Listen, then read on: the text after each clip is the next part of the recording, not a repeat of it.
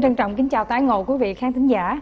À, có lẽ quý vị cũng biết là mỗi thứ hai hàng tuần chúng ta có cái chương trình y khoa phục vụ đời sống và hôm nay à, người à, thực hiện chương trình không ai khác là bác sĩ Kevin Mai. Xin chào bác sĩ. Vâng, và chào quý vị. À, xin à, hô chuyện cùng quý vị bữa nay và cô Thùy Dung. À, bữa nay lần trước thì tôi nói về à, xón tiểu với lại táo bón thì mấy bác kêu thôi tập trung ở dưới nói nhiều quá bữa nay bây giờ chúng ta mà Đang tập trung trên. nói phía trên.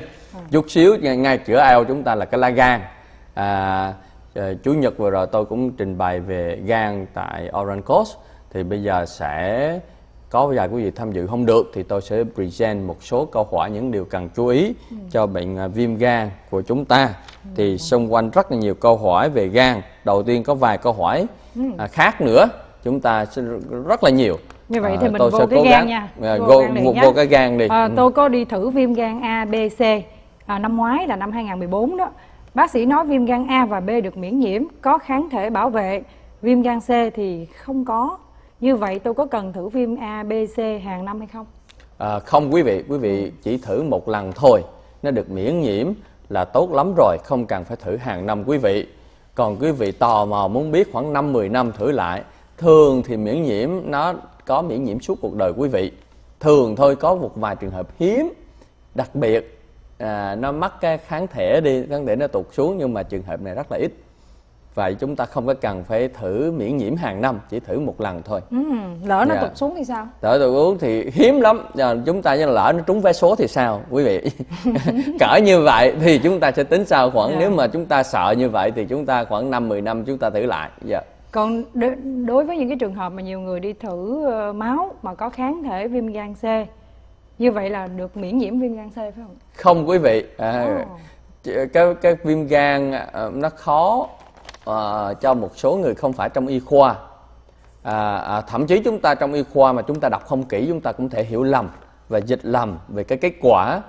Cái kháng thể của viêm cái antibody kháng thể viêm C có nghĩa là tin xấu quý vị à, tin xấu tức là chúng ta có mầm bệnh có thể là bệnh trong quá khứ mà nó vẫn còn tồn tại tới ngày hôm nay. Như vậy là Hay nó để là- cái positive có phải không? nó bo- positive. Ồ. à, những có quý vị nào bị bị viêm gan C mà được chọi chữa khỏi lành bệnh rồi uống thuốc chữa khỏi lành bệnh rồi thì vẫn còn cái antibody này. Hoặc là quý vị chưa bao giờ thử mà bữa nay thử có kháng thể viêm gan C là tin xấu rồi quý vị. À, chúng ta phải tính vi trùng có lẽ quý vị đã có bệnh viêm gan C. À, như, Như, vậy. vậy A, B mà có kháng thể. Kháng thể thì lại tin tốt. Tin tốt. ví dụ như viêm A mà cái kháng thể IgG hay là tổng số mà nó xuất hiện có nghĩa là miễn nhiễm có lính bảo vệ. Bám sẽ surface tức là bề mặt của viêm gan B mà có kháng thể tức là tin tốt. Quý vị được miễn nhiễm. Trong khi đó viêm gan C có kháng thể lại là tin buồn nha bây giờ Vâng. mình có A, B, C. Bây giờ nói như viêm gan A thì lan truyền như thế nào? À, À, ờ, cô thì Dung chắc cổ cũng hiểu rồi. Tối ngày của ABC có đi ý y nữa nhưng mà nó không quan trọng. Chúng tôi cũng không có đủ thời gian để nói bữa nay. Thì viêm gan A thì nó từ nước à, và thức ăn. Những cái nguồn thức ăn mà nó nhiễm siêu vi khuẩn này. Và siêu vi khuẩn viêm gan A rất là dễ lây lan. À, nói chung là chúng ta hầu như chúng ta sinh sống lớn lên ở Việt Nam đa số chúng ta bị viêm gan A rồi. Rồi chúng ta qua khỏi chúng ta có miễn nhiễm. Ồ nhiều quý vị ủa tôi đâu có biết đâu. Thì viêm gan A hầu hết quý vị không có chú ý không có triệu chứng gì hết. Nó có thể làm cho chúng ta mệt mỏi à, khó ăn một vài bữa rồi nó qua đi. Nó không có đem tới à, kinh niên. À, chú ý chú ý là viêm gan A thuộc loại một lần rồi thôi à, được nhiễm trùng từ thức ăn và nước xong được miễn nhiễm. Miễn nhiễm thì miễn nhiễm thường suốt cuộc đời. Và quý vị nên nhớ là không lây qua đường à, quan hệ tình dục hay truyền máu về viêm gan A. Nó làm một cho lần vàng nữa. Dạ nó cũng làm vàng da, Vàng da. cũng có thể tử vong Viêm gan A. Dạ vẫn tử vong nhưng mà hiếm thôi vẫn có thể thay gan và tử vong nhưng mà trường hợp nó hiếm hơn nhiều. À, hờ, chúng ta thường qua khỏi à, Nhưng mà tại hết. sao nói là viêm gan A tự khỏi rồi gây ra tử vong là như thế nào? có nhiều người bị viêm gan A nặng không tự khỏi được. Có vài người à, hiếm thôi. Hiếm thôi vẫn có thể bị à, cần phải thay gan hoặc là tử vong. Ừ, dẫn tới trường hợp trầm trọng. Nhưng mà đã lâu rồi tôi chưa nghe cái ca ca như vậy. Dạ Dạ như vậy thì để phòng ngừa cái viêm gan A thì mình phải ờ, ăn chín nấu kỹ rửa tay sạch sẽ. Dạ, ăn cá sống thì sao? à, rất là dễ bị. À, mấy cái này nó thường trong đồ ăn rau sống của quý vị đó. Nó thường có chúng ta phải ăn à, ăn chín nấu kỹ hay rửa thật kỹ à, rửa tay sạch sẽ. À, những người nào mà bị viêm gan A thì cần phải cách ly. À, ở đây chúng tôi xin chú ý là ở bên Mỹ và hiện giờ ở Việt Nam người ta thường sinh ra người ta thường chích ngừa mấy cái viêm A rồi hầu các em còn nhỏ đó à, chích viêm gan A hai mũi thì các em cũng được miễn nhiễm. À, trước khi mà phải động chúng ta có hai cách miễn nhiễm tức là chúng ta bị viêm gan A rồi chúng ta qua khỏi. Cách miễn nhiễm thứ nhì là miễn nhiễm chích vaccine tức là trích mấy loại giống như vaccine cảm cúm này nọ đó chúng ta được kháng thể chúng ta được miễn nhiễm đều tốt cả Ừ, như vậy nói là viêm gan A chỉ xảy ra một lần trong đời thôi. Thí dụ mình à, ăn một cái rau gì nó không sạch nó bị nhiễm viêm gan A rồi. Cái sau mình miễn nhiễm mình hết bệnh đó rồi kỳ sau như vậy mình mặc nhiên mình ăn dơ tiếp nó không bị lại hay là sao ạ? viêm gan A không không bị lại Ồ. 99.99% Ồ. tôi không bao giờ dám trăm phần trăm. Trăm phần trăm để thượng đế nói nha quý vị. Rồi. Rồi, như vậy thì giờ ừ, sang cái B, không biết B thì nó ờ, rồi câu, câu hỏi kế tiếp. nào? Viêm gan B. dạ. Dạ, lan viêm gan như thế nào? gan viêm gan B lây truyền như thế nào? Thì tôi cũng à, nói lại cái đây là cái bức hình ảnh quý vị. Tôi chiếu bức ảnh là ờ, cái đây là cái con à, lá gan của chúng ta. Chúng chúng vị cũng biết là nó nằm phía bên tay phải dưới cái sườn của bên tay phải này. Cho nên đau gan thì đau dưới đây nó cũng có túi mật luôn có thể đau gan do túi mật nữa. Rồi cái siêu vi khuẩn là nó phóng bự ra. À, nó nằm bên kia là con uh, siêu vi khuẩn. Ví dụ như chúng ta có cái lá gan chỗ này chúng ta thấy là lá gan một, một cơ năng nội tạng có lớn nhất ở trong cơ thể của chúng ta rất là bự. À, nó làm rất nhiều chức năng cho chúng ta à, lọc máu sản xuất à, giữ các chất đường à, chất sắt và các loại vitamin rồi nó có thể điều chế được các loại chất đạm cho cơ thể những chất đông máu vân vân và vân vân chúng ta không thể sống được nếu không có lá gan Phải gan không? càng Chúng lớn thì càng khỏe phải không ạ? Gan. gan càng lớn là càng mạnh bạo dạng hơn nhưng mà đó là bệnh to gan à, bệnh to gan đây là bệnh à, bệnh vì uống nhiều rượu nó nhiều mỡ quá nó to gan à, chứ không phải gan càng lớn là càng càng khỏe mạnh. Gan càng lớn là càng bị bệnh đó quý vị. Nó gọi là hepatomegaly tức bệnh to gan. Do thường thường do à, các người mà đệ tử lưu linh uống rượu đó gan nó phình nó bự ra. Tuy nhiên sau một thời gian nó teo lại nó thành sơ gan. Đấy bây giờ đây là cái vài cái cái triệu chứng trước chúng ta thường nói những cái bệnh tật chúng ta thường phải đem những hình ảnh lên để đe dọa à, để coi thử nó như thế nào. Tại sao tôi phải quan tâm về những viêm gan A B C này? Đây là chúng ta thấy những cái người mà viêm gan á, nó thường bị vàng mắt. Ừ. quý vị thường à, nói là da nó bị ngứa là do gan. Không phải quý vị. Gan nó có đặc điểm là thường thường nó vàng mắt. Trước khi mà nó bị da bị ngứa da bị ngứa thì chúng ta thường bị khô da ở kali mà. Khô da bệnh da thôi chứ không phải bệnh gan. À, à, rồi chúng ta thường bị à, mà bệnh à, cái, cái, cái bụng trướng lên. Cái thời kỳ mà cuối đó nó bị trướng lên nó phình ra đầy nước. Rất là khó thở. Những cái trường hợp này thường tử vong cao. Và tuổi thọ không còn bao nhiêu nữa.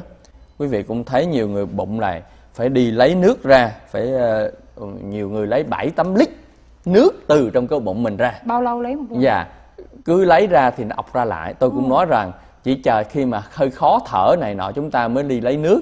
Chứ mỗi lần lấy rất mất rất nhiều dinh dưỡng và sức khỏe. Lấy ra thì thấy khỏe nhẹ bụng nhưng mà chừng vượng hai ba ngày sau là nó ọc ra lại. Nước này là nó dồn ứ từ do gan của chúng ta, nước nó qua lá gan không được. Nó bị dồn lại xuống cái bụng của chúng ta.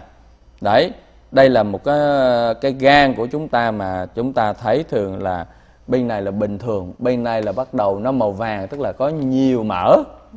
Mỡ trong gan dồn chúng ta mập béo, dồn chúng ta uống nhiều rượu thì mỡ trong gan không những là siêu vi gan ABC phá hệ rồi mà mỡ nhiều trong gan. Đây là một nguyên nhân rất là nhiều trong à, người Mỹ Phá để mà nó phá rồi tới khi nó sơ bên kia. Bây giờ quay lại vấn đề là viêm gan A thì chúng ta đã biết rồi. Thức ăn. Đúng không? Chúng ta bị ờ, da bản bị nó nhiễm vô thức ăn mà chúng ta ăn trúng. Nếu mà chúng ta chưa có kháng thể thì chúng ta có thể bị à, nhiễm viêm gan A này. Và viêm gan A này nó làm cho chúng ta cũng oái mửa khó chịu giống bị cảm cúm có thể gàn da. Hiếm hiếm hiếm khi chúng ta cũng có thể bị cần phải thay gan và vài trường hợp sau trong sách báo nó có thể nói là tử vong. Ừ. nhưng mà hiếm lắm quý vị so với những cái viêm gan B và C.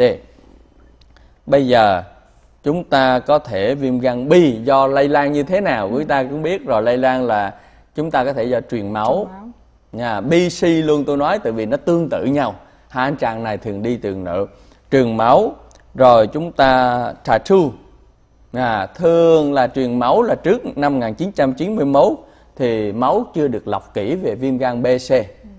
Bây giờ lọc kỹ rồi, truyền máu ít có khi bị. Quý vị cần lọc truyền máu thì cũng phải làm thôi. Và hiếm hiếm hiếm hiếm khi bị nữa thì người ta lọc rồi. À, à, quý vị đi mà cho máu người ta cũng làm hết. Quý vị thỉnh thoảng có tờ giấy gửi về biết là quý vị bị viêm gan B hay C. Nó nó nói là quý vị không nên cho máu nữa. Quý vị cũng biết rồi. Nó lọc rất là kỹ. Vậy ngoài đó là còn HIV còn mấy cái bệnh dân hoa mai giang liễu nữa. Nó thấy dính trong máu mình là khỏi cần cho máu nữa.